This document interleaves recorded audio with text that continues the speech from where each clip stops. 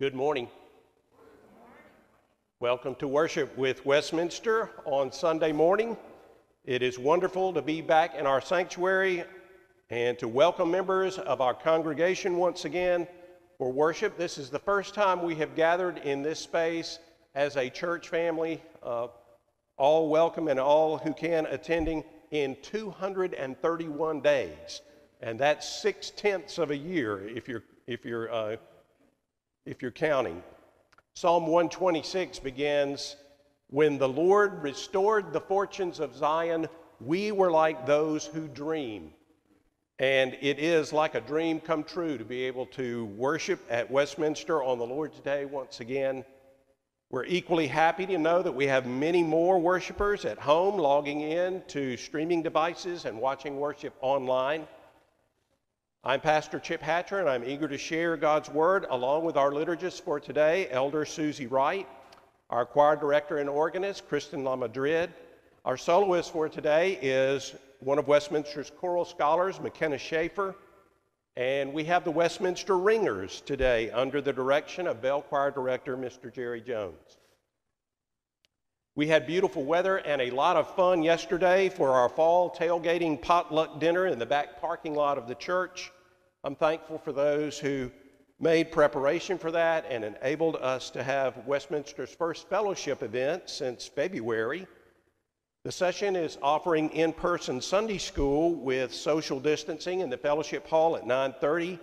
Reservations can be made just like we make them for um, morning worship. So uh, we had a few in Sunday school today and several who were online. The decision is yours whether to be here in person or to join by Zoom at 9:30. And we plan to continue in-person worship as well for next Sunday, October 25th, again at 10:30 all who plan to attend, please make sure and make a reservation by Thursday, October 22nd at noon. Our limit again will be 50, so reserve your spot for in the sanctuary for in person worship. The session has appointed a nominating committee made up of Mary Cole, Annie Joes, Janie Russell, Larry Stanley, and Nyan Thompson. And we will soon be calling a congregational meeting as they uh, work to bring a slate of elder nominees for the session class of 2023. We might actually have to be both electing the nominating committee and the new slate at the same meeting, which would be highly unusual, but this is certainly a highly unusual year. Mission work at Westminster continues as we collect dollar giving offerings and rely on the generosity of members and friends with pledges and gifts honored each week. We are always grateful for your generosity and the prayerfulness that we all share for Westminster's life and ministry together. We continue also to play, pray for friends in our church and community who are listed in the worship bulletin and whose names we send weekly by email. Uh, please continue to remember them today and through this week and pray for safety in our community and progress toward a safe and effective vaccine. Let us begin worship with prayer. Loving, living God, be among us now. Show us your ways. Guide our steps. Live in us that we may be people of steadfast hope and powerful giving. Help us hear your words, challenging us to give you all the things that are yours. Help us remember that we all all that we are and all that we have are gifts from you, gifts to be shared in service and in love.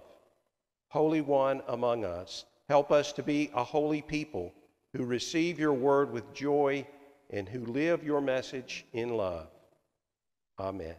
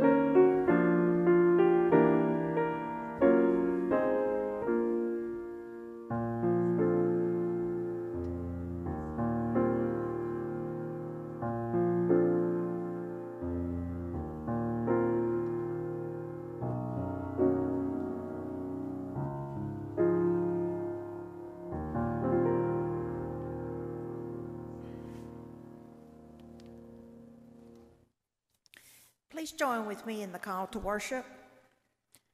Oh, sing to the Lord a new song. Sing to the Lord, all the earth.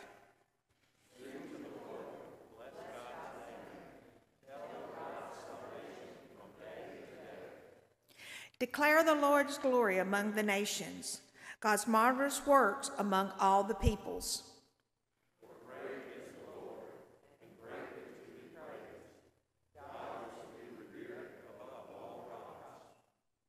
For all of the gods of the peoples are idle, but the Lord makes the heavens.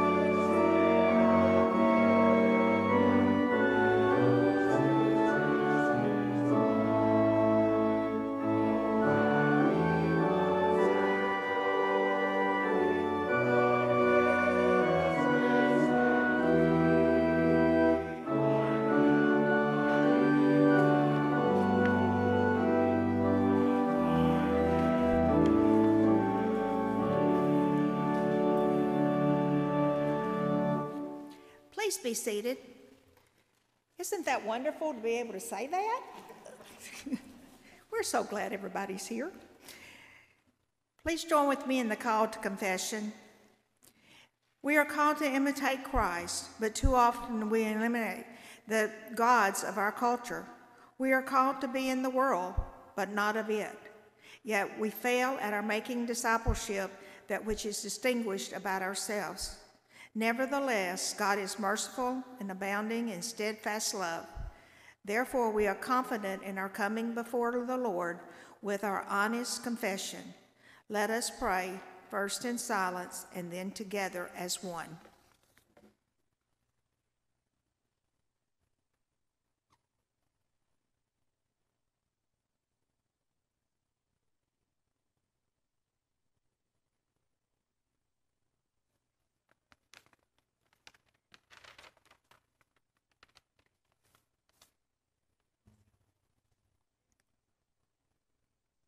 We pray together. Lord, like those religious leaders long ago, we too have malice in our hearts. We wish ill upon those we do not like and fail to recognize our own shortcomings. We are certain in our opinions rather than humble about our assumptions. We want to partition off our lives, offering you a portion of our loyalty time, and resources when we are called to give our whole selves to you. Forgive our pettiness, our hard heartedness, and our stubbornness. Use our repentance as a means for the Spirit to work in us and remake us into a closer likeness of our Lord Jesus Christ, in whose name we pray. Amen. Friends, the Lord our God answers us and forgives us. The mercy of the Lord is from everlasting to everlasting. So believe the good news. Through Jesus Christ, our sin is forgiven. Glory be to God. Amen.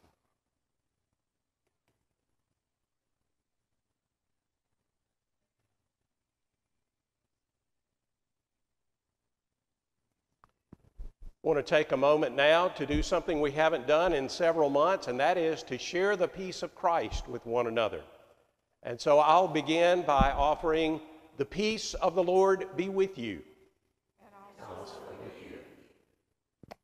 and spend a moment greeting one another and offering each other the peace of Christ.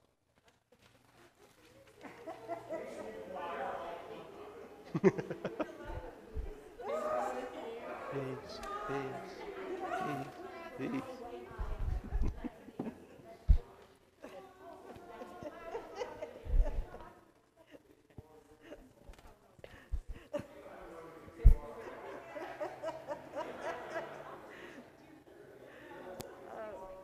Now you get to tell them to sit down. Yes.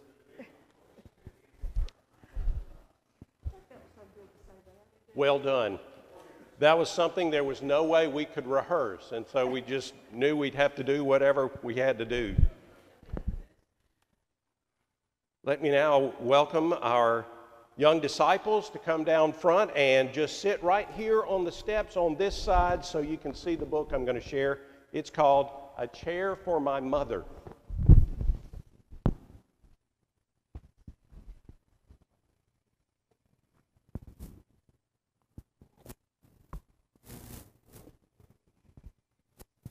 Can you see me?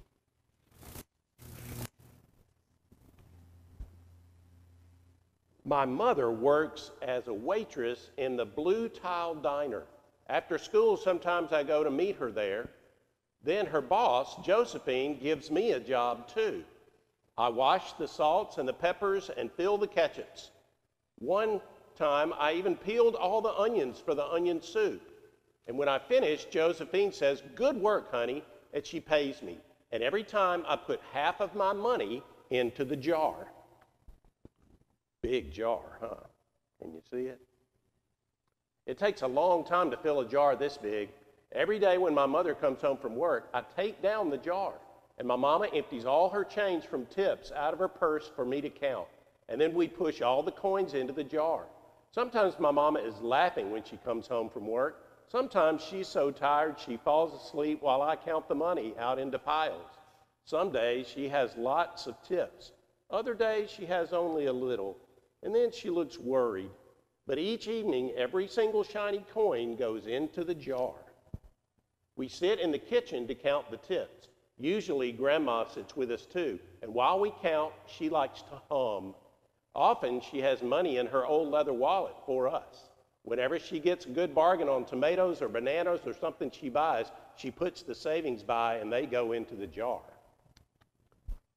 When we can't get a single other coin into the jar, we're going to take all that money and go and buy a chair. Yes, a chair. A wonderful, beautiful, fat, soft armchair. We will get one covered in velvet with roses all over it. We're going to get the best chair in the whole world. That is because our old chairs burned up. There was a big fire in our other house. All our chairs burned, and so did our sofa, and so did everything else. That wasn't, that wasn't such a long time ago.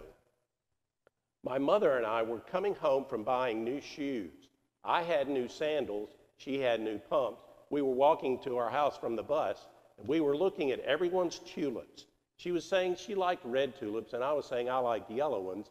And then we came to our block, Right outside our house stood two big fire engines. I could see lots of smoke.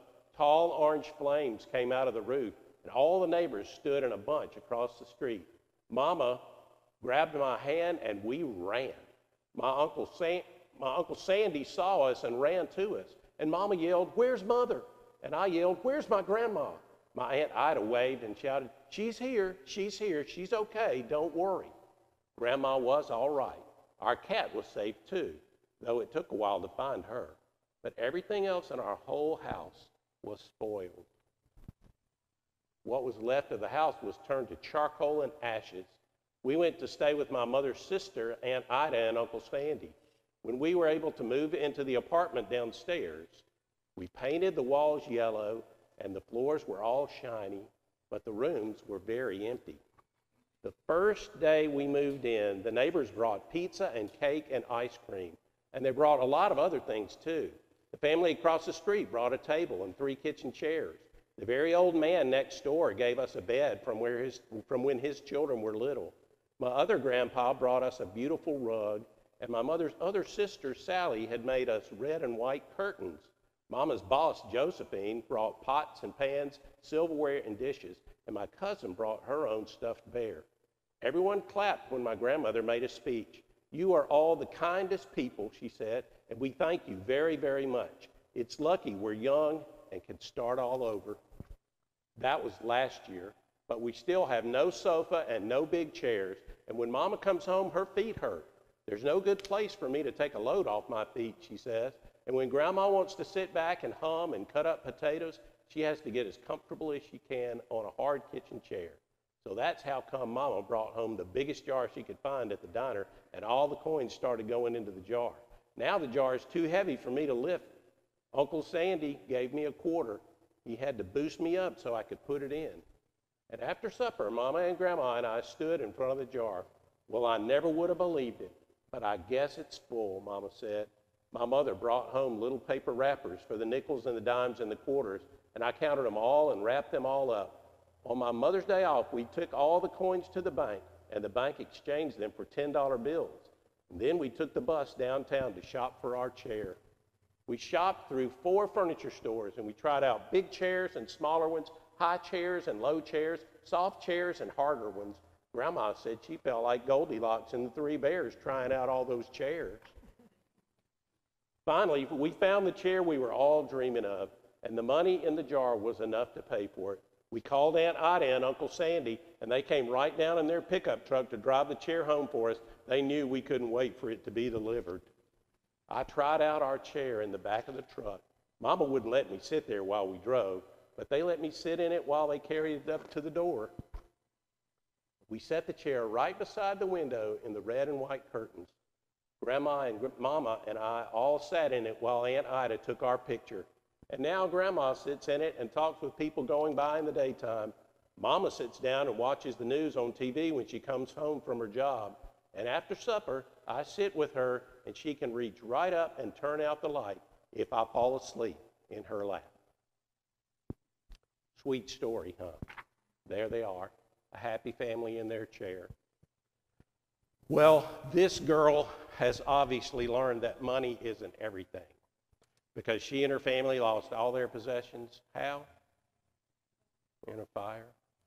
And she's very thankful that she has her family and they're all alive together. Have you ever saved money for something?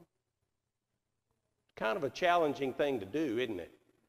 Because it's hard to wait and save up for something as big as a chair. But she learns the importance of doing that. And it's important for her family to be able to gather in love and have a place where they can share love together, like that chair. Well, I'm going to share a story from the Gospel of Matthew, and it's a story where some of the religious leaders get together and they try to trick Jesus into saying something that they think he shouldn't say. But Jesus tells them, Give to the emperor the things that are the emperor's, and give, give to God the things that are God's.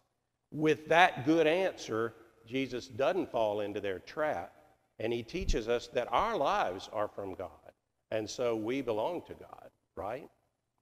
Our lives are far more important than money. That's not the end or the means or really any kind of importance when it comes to what makes life go around. So it's our life that's important, the life that God gives us each to live in God's image. Will you pray with me? Let's pray. Thank you, God, for making us in your image. Help us to spend our lives honoring you. And help us spend our money on things that make our lives and also the world a reflection of your love. Thank you and amen.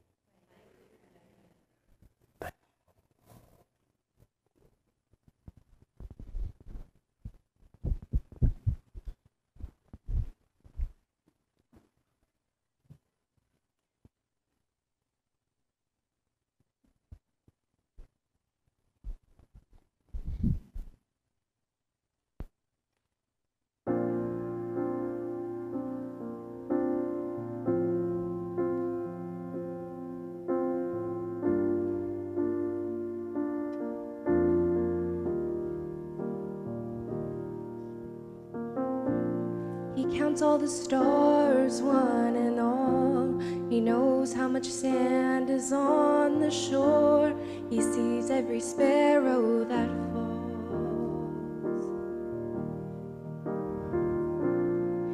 He made the mountains and the sea.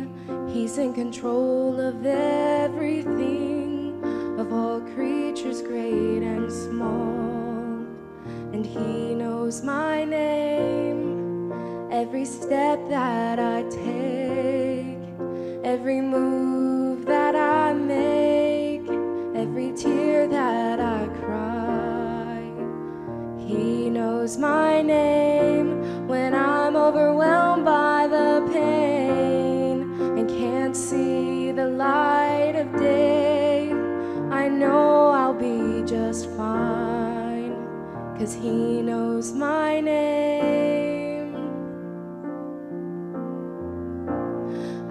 What tomorrow will bring. I can't tell you what's in store.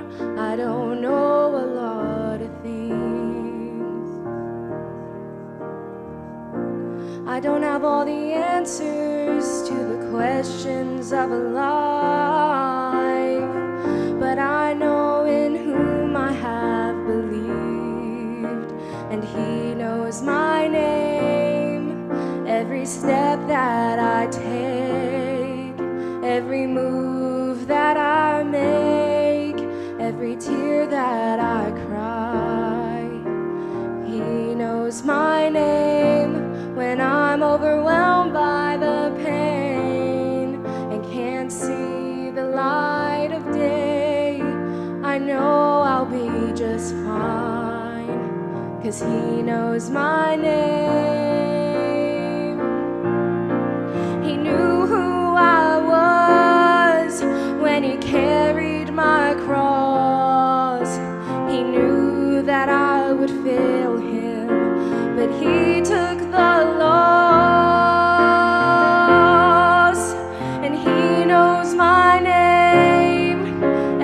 Step that I take,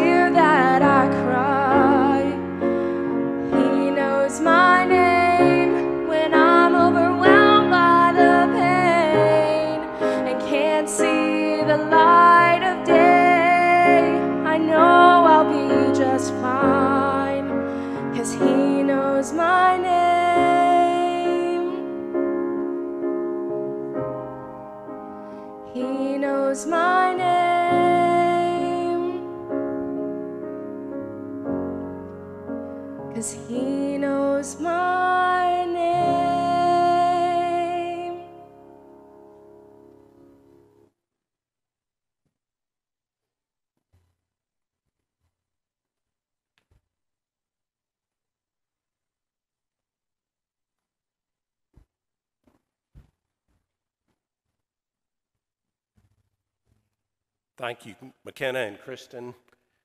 And I didn't know what that choice was going to be. Well, actually, I did earlier in the week, but not before I picked the scripture, and it is actually perfect for what we're going to read from the Gospel of Matthew, chapter 22, beginning with verse 15 and reading through verse 22.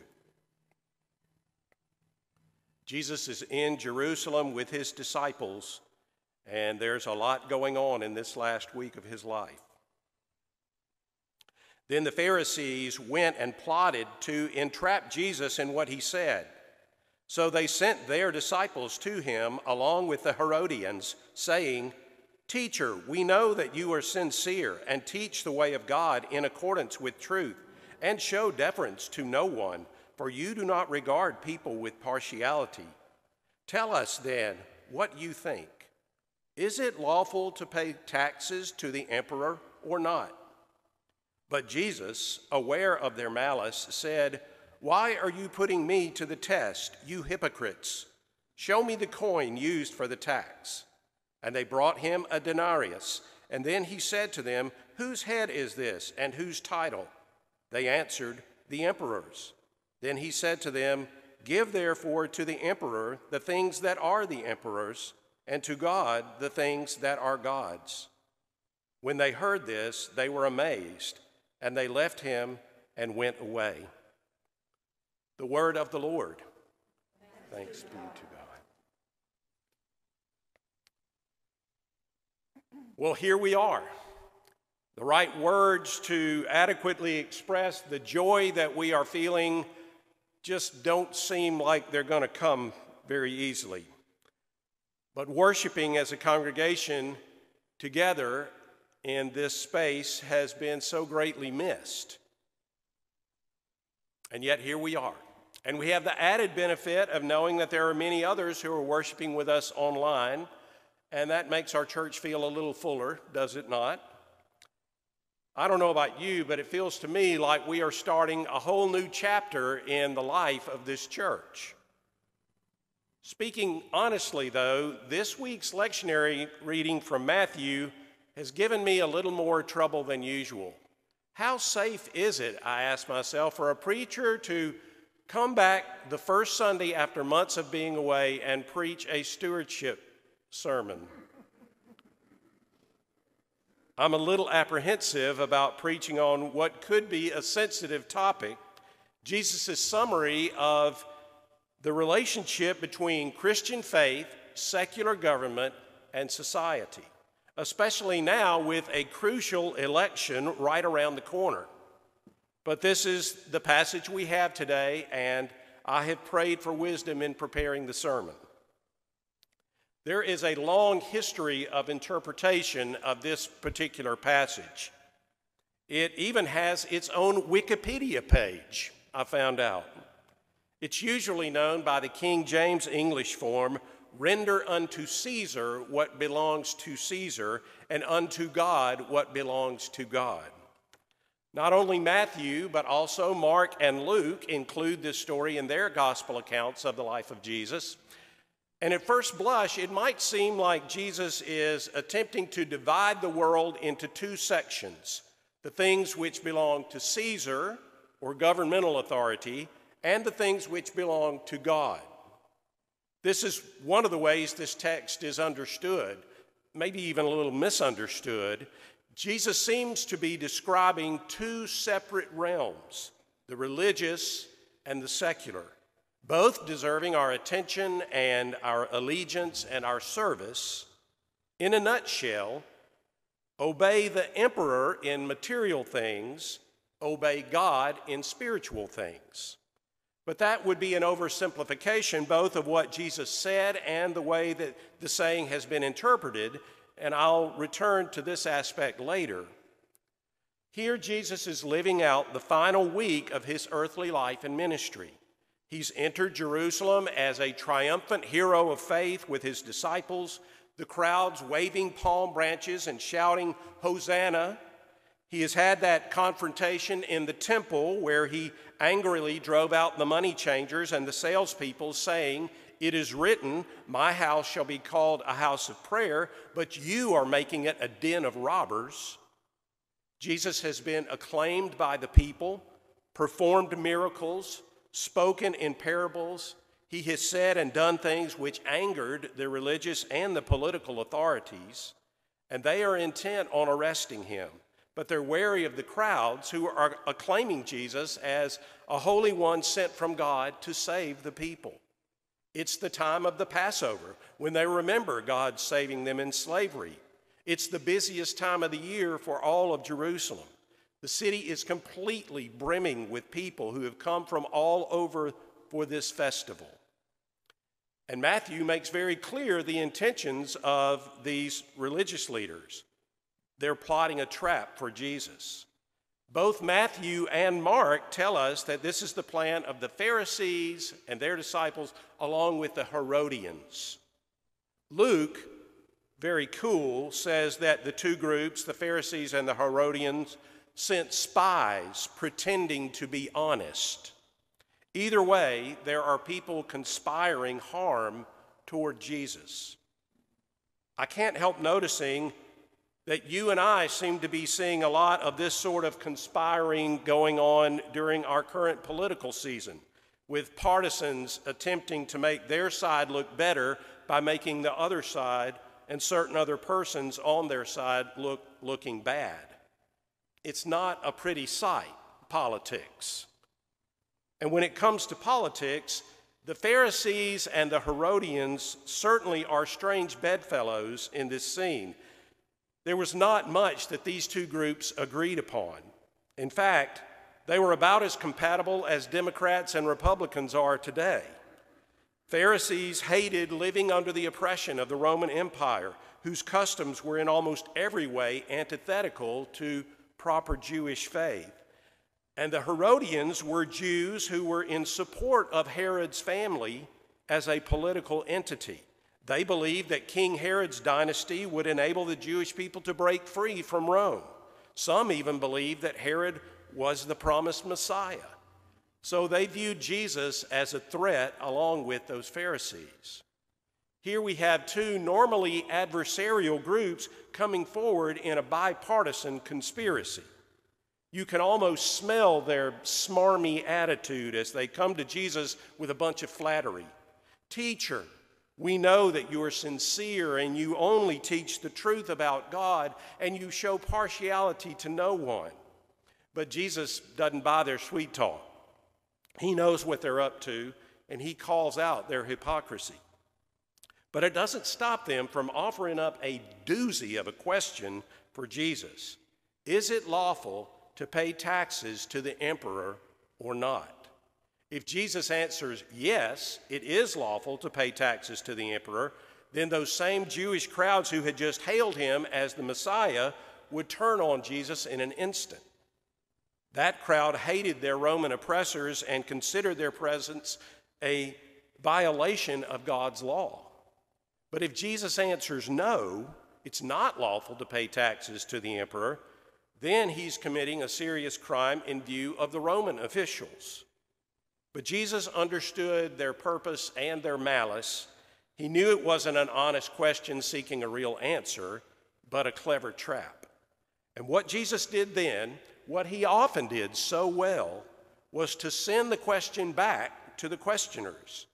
In effect, Jesus said to them, Show me the money. And when they produced a denarius coin, Jesus asked, Whose image is this? The emperor Caesar, they said. Whose title is there? The emperor, Caesar. Then give to the emperor the things that are the emperor's, and to God the things that are God's. By answering this way, Jesus leaves it to his listeners, and that, of course, includes us, the more important question of what actually does belong to the emperor and what exactly does belong to God. True to Jesus' teaching style, the question is not answered because ultimately that is a question which each of us must answer for ourselves each day. And it's important to note what Jesus does not say. He doesn't say that there are two distinct realms, the religious and the secular, and that they require our equal fidelity. What he says is more complicated.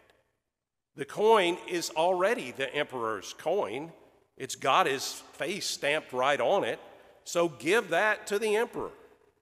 And then consider the harder question what then in my life, of my life, belongs to God? What kind of tribute do we owe the Lord? The Roman coins of Jesus' day bore the image of the emperor, but we, as human beings who are created by God, we bear the image of our Creator, of God. Which means, if we keep this analogy going, that we owe God everything, our whole and entire selves. So, what does that truth mean for us in these hard days close to a fiercely contested election when communities and churches and even families are divided over political and cultural differences that seem unbridgeable?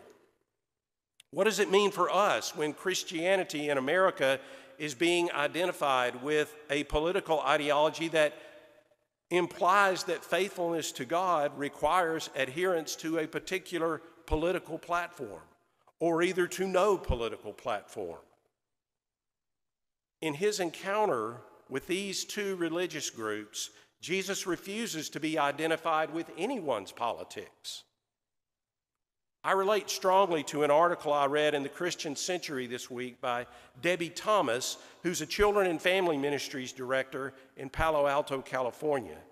She writes The one who calls himself the way understands that the way we go about achieving our goals, the language that we use or abuse, the stories we privilege or silence, the people we protect or oppress, the sins we confess or indulge, the truths we proclaim or deny. That way makes all the difference in the world. When I look to Jesus to think about how to practice my faith in the political realm, I see no path to glory that sidesteps humility, surrender, and sacrificial love. I see no permission to secure my prosperity at the expense of another's suffering, no evidence that truth telling is optional. I see no kingdom that favors the contemptuous over the brokenhearted, and no church that thrives for long when it aligns itself with power. Ms. Thomas continues Christians have spilled much ink over America's current political situation. Every argument and counterargument has been made as an ad nauseum.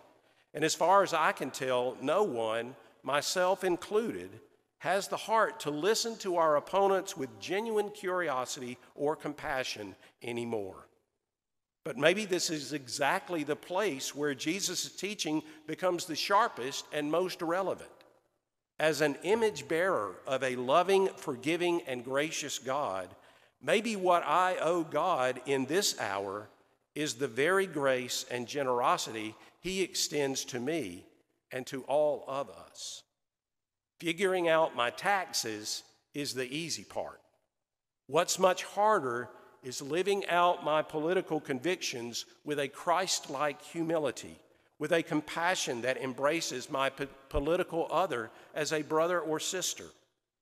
But if I really belong to God, if I really am fashioned in God's image, then I need to practice my faith and my politics in ways that reflect who God is, no matter who I plan to vote for for president. It's not a question of backing down or of being dishonest or of watering down my beliefs. It's a question of remembering that the God whose image I bear is a God of love. So, yes, by all means, give the emperor what belongs to him. But remember that our first debt is to a power that will re- remain long after earthly empires rise and fall. Our first and highest debt is to love. In the name of the Father, the Son, and the Holy Spirit. Amen.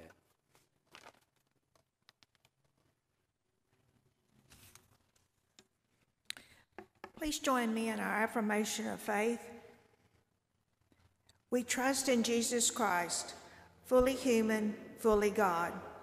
Jesus proclaimed the reign of God, preaching good news to the poor and release to the captives, teaching by word and deed, and blessing the children, healing the sick and binding up the brokenhearted, eating with outcasts, forgiving sinners, and calling all to repent and believe the gospel. Unjustly condemned for blasphemy and sedition, Jesus was crucified, suffering the deaths of human pain and giving his life for the sins of the world. God raised this Jesus from the dead, vindicating his sinless life, breaking the power of sin and evil, and delivering us from the dead to life eternal.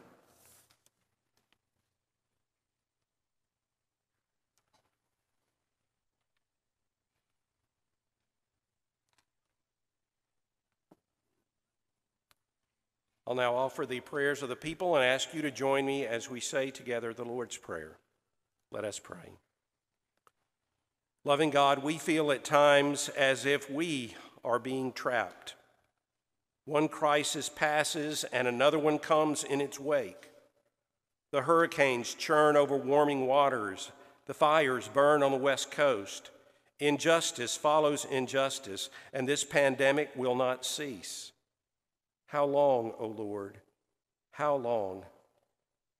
We cannot endure without a sure sense of your presence. We cannot rest without a glimpse of your power. While we want to remain faithful, we cannot help but lag in zeal. So hear our cries for help, we pray. Gracious God, knowing all too well that today's problems are enough for today, we entrust to your compassionate care all the burdens that we can no longer carry, the worries that we can no longer bear. Take from us the anxieties that threaten to overtake us, the grief of cumulative losses, the fear for our well being and that of those we love, the shame of deeds we cannot undo, and the doubts that prevent us from moving forward. We hand them over right now, believing that our Lord intercedes for us and the Spirit translates our sighs too deep for words. Merciful God, you never abandon us. Your faithfulness to the covenant you make with your people is unwavering. You walk with us, go before us, envelop us with your goodness and grace. Help us to feel your close presence with every breath and with each heartbeat. May our awareness of your nearness empower us to do justice and love kindness and keep walking with you so that others will come to know your love through our witness. Make of us a grateful, joy filled people, a light to which others are drawn. And use the offerings of our lives this week to shine brightly for you. Glorious God, we are told only to ask, and that in asking we will receive. So we ask now for whatever tugs on our hearts or weighs on our minds or calls from our souls. You know it before we name it. You desire what is best for your beloved world. You plan a hope filled future for us, and you refuse to give up on your good and beautiful creation. Help us to dream your dreams and envision your will until that day when Christ returns and all is well. We pray in the name of your Son, our Savior, Jesus Christ, who taught us to say when we pray, Our Father, who art in heaven, hallowed be thy name.